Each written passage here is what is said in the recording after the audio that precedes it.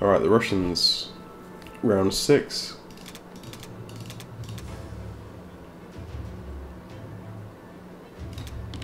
Let's do let's do five and three.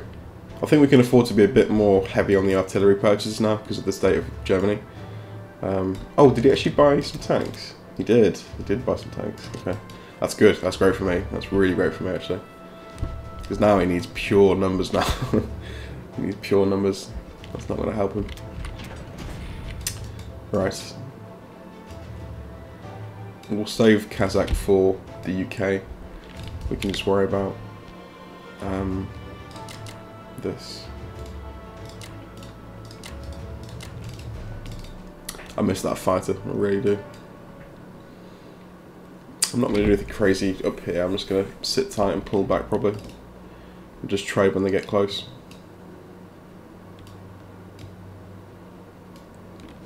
Okay. Let's do that. Fingers crossed on Belorussia, this is the only... Nice, nice. I never feel comfortable just doing that artillery infantry because I've, I've lost that battle so many times. Never feel safe doing it. Even this doesn't feel safe because I hate the attacking fighters. Yeah, two misses again. Nice. Alright, let's pull... Uh, yeah, let's pull everything back here actually. Just secure... Um, we'll let them come in and then we'll just trade them as, as they come in. Into... Okay. So, we've just broken 200 attack power, which is nice. 30 odd lead on the, uh, the Axis. Okay, UK 6 against uh, Snowden. Okay, 3 infantry for India.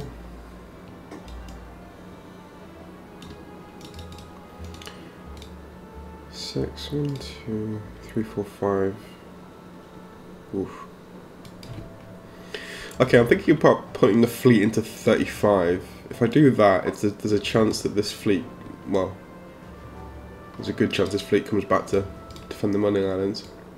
Because I don't want all this crap coming around South America and threatening my uh, logistic lanes.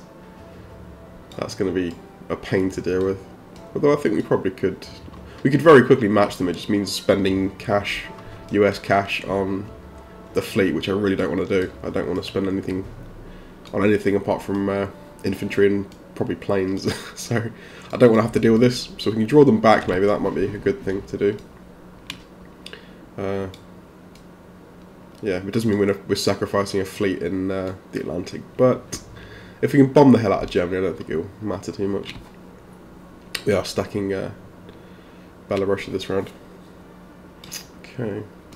So want to buy. We can go we can go two bombers just straight up. Which I might do actually. We'll do yeah, we'll do two two bombers.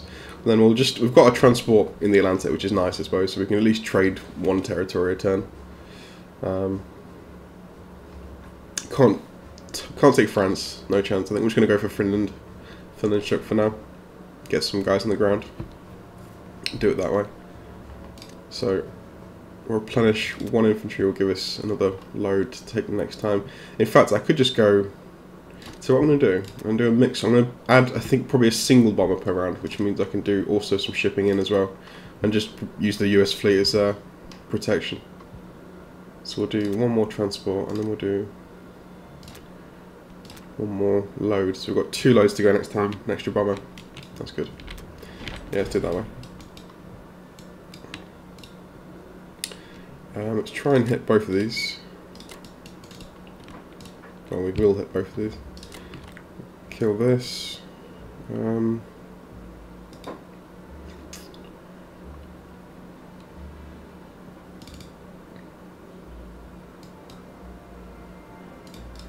To take it actually. I'm to take it. Okay, bombing runs, let's go for... Yeah. Let's go all in for Berlin.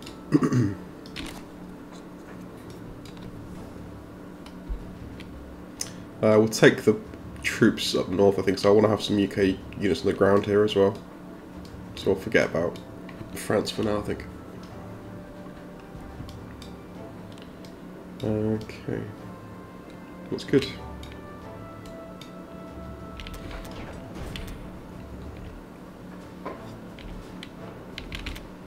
Nice. Oof, that was heavy. That was some heavy hitting there. Jesus. That's what we like to see.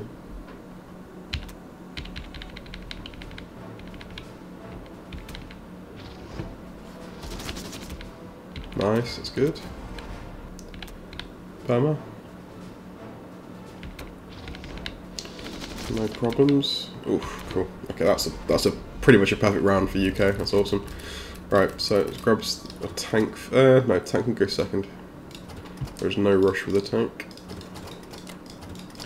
Grab you. Um, to be fair now, we don't need the UK Air Force here. These fighters can come south, to be honest.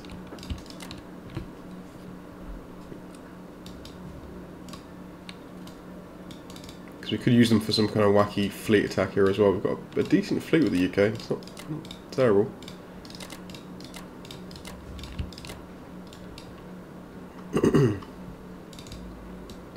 You know, what I was thinking just then. I wish there was a way to like. I was thinking of Age of Empires. I wish there was a way to drag like create a box here by dragging across, selecting all the units that in the, inside that box, and moving them as a as a group. That'd be so nice. Whereas instead of having to like here, just grab these individual ones and move them where you want. Anyway, um, right. Let's probably leave. Let's leave two up north because we are going to be having units to trade. In fact, I don't, don't need them there for now. One, two, three, four. Cool.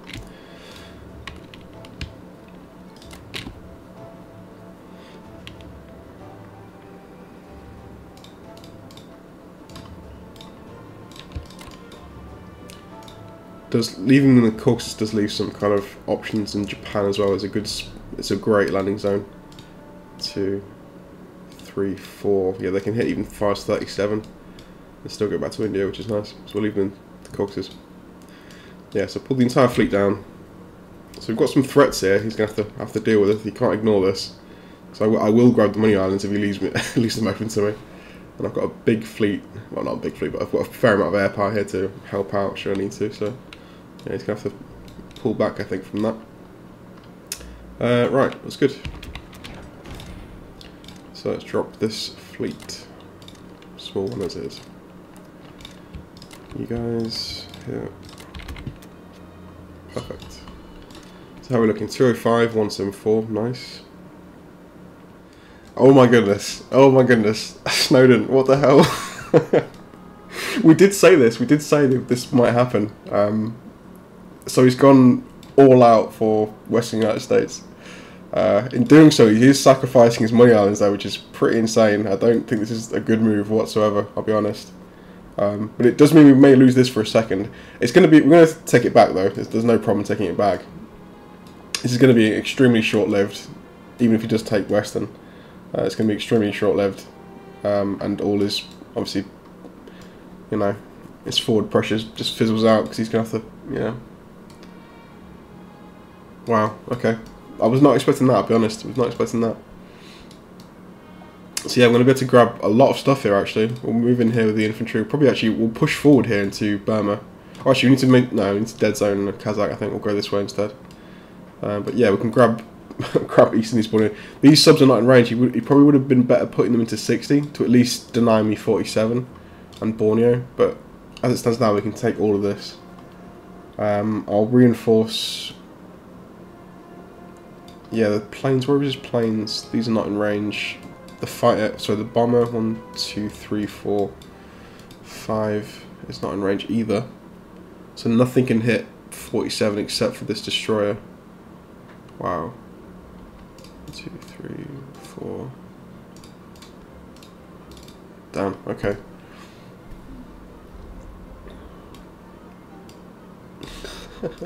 Just wondering how, how hard to defend um, can't ignore this. Obviously, I have to take it seriously because if, if, it does, it could spiral out of control. He'll probably put a complex into Alaska. I would imagine this is his plan. Uh, so, I think we'll just do the normal ten to Western. We'll buy a fighter. Um, just thinking how much of this, how much of this to pull back to uh, central. He's got 14 units plus two bombardments, two planes. This will definitely fall, but I'm going to make it work for it. Yeah, I think we need to probably pull back most of this because if this if he, this battle goes well for him, then we're going to need a lot of units to trade. So I've got limited air power. Um, we'll do 10. Ah, love, the bomber. Okay, so let's do that. Let's do that. So we'll drop we'll drop nine in here plus this guy here as well. We'll move everything back, I think, plus the, the three planes we'll have. So there'll be 20 units or 19 units in central plus some plane support. So that should be more than sufficient to get that back at least. Then we can think about pushing back to Alaska. Wow, interesting move. Really interesting. Um, okay, so let's grab let's grab Baltic. Everything else goes in here. These planes are free to move as well now. I don't necessarily need them in India. No threat against India now. Uh, okay.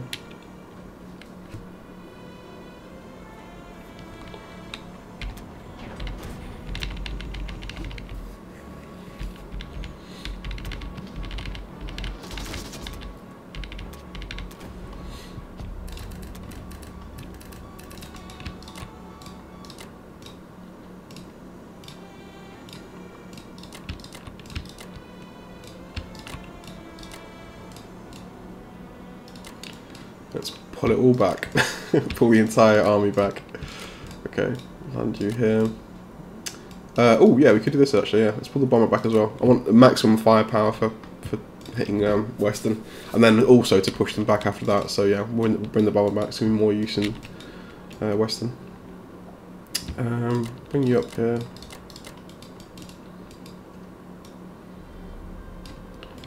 Um,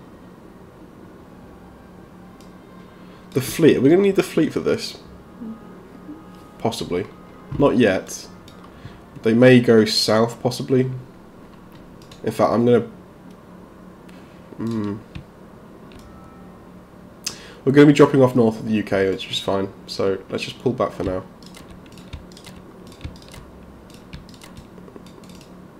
So we have presence around here. Because if he moves... He can move to 41. So it'll be a range of... Uh,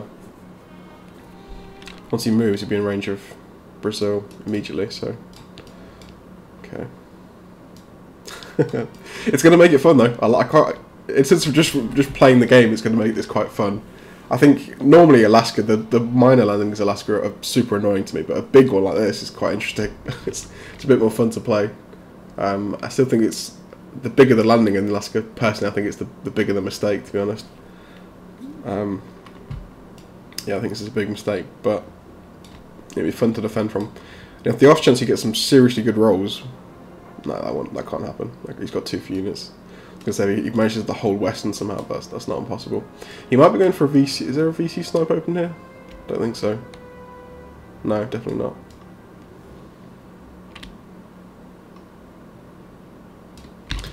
Okay.